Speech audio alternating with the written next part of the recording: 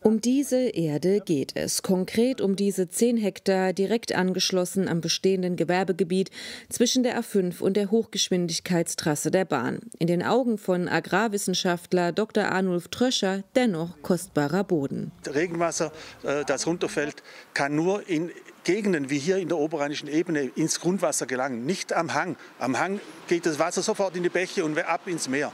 Also haben wir hier einen großen äh, Filter für Grundwasser und wir haben es gerechnet, wenn wir diese 10 Hektar überbauen mit 6 Hektar versiegelter Fläche, dann verlieren wir den Grundwasser für 1000 Einwohner. Das Land gehört einem Biobauern, der das Grundstück an die Gemeinde verkauft. Hirschbergs Bürgermeister Ralf Gens hier sieht das als Chance, auch aus ökologischer Sicht. Ich bin kein Fachmann, ich bin kein Bodengutachter, aber es haben sich ja schon Biologen und auch Landwirte zu Wort gemeldet, die diesen Boden ähm, beurteilen können. Ich kann es nicht. Ähm, und da ging eigentlich schon daraus hervor, dass die Biodiversität, wenn man gezielt zum Beispiel Maßnahmen ergreift bei, äh, bei Gebäudetypisierung, äh, Dachbegrünung, Dachflächenbegrünung, ähm, PV-Anlagen, Versickerungsflächen, wie es auch äh, angedacht ist, wenn man die gezielt aufbaut, dass es dann unter Umständen auch deutlich besser sein kann, vielleicht sogar als es jetzt ist. Die Anfragen, die die Gemeinde Hirschberg nahezu wöchentlich erreichen, übersteigen den Angaben nach sogar die zur Debatte stehenden 10 Hektar. Eine Studie des Verbands Region Rhein-Neckar ergab allgemein ein enormes Flächendefizit in der ganzen Region. Und in diesem Gutachten ist von einem Defizit bis 2035 äh, von 490 Hektar die Rede.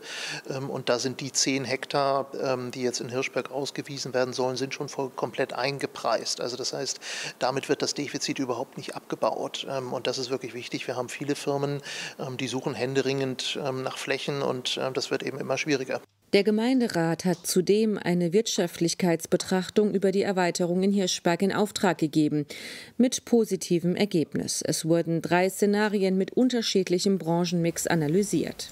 Im besten Falle der errechnete Mehrwert auf der Basis der geprüften Szenarien wäre, dass der Gemeindehaushalt mit rund 270.000 Euro jährlich rechnen könnte und wir dadurch auch von maximal 550 neuen Arbeitsplätzen ausgehen können. Das Ergebnis der Wirtschaftlichkeitsbetrachtung wird von der Bürgerinitiative allerdings angezweifelt. Die Betriebe, die da rein wollen, stammen aus dem bisherigen Gewerbegebiet, die wollen erweitern und vielleicht neu bauen. Die bringen keine neuen Arbeitsplätze oder nur kaum welche, denn die sind ja schon bereits da. Andere Betriebe, von denen wir wissen, dass sie von außen kommen, ähm, da kann es sehr gut sein, dass die äh, nur umziehen von einem Gewerbegebiet in ein anderes. Das bringt auch keine neuen Arbeitsplätze, das verlagert nur Arbeitsplätze. Zudem fehlen laut Bürgerinitiative in der Analyse wichtige Aspekte wie die Verkehrswende, zunehmende Nutzung von Homeoffice und auch die Konsequenzen der Pandemie seien nicht mit einbezogen. Zudem wird das Plus an Gewerbesteuern nicht als Lösung der finanziellen Probleme der Gemeinde angesehen. Hirschberg hat im Moment die meisten Einwohner seit je, hat die größten Gewerbeflächen. Trotzdem sind die, ist die Pro-Kopf-Verschuldung in den letzten 15 Jahren von 8 Euro auf knapp oder auf etwas über 900 Euro angestiegen.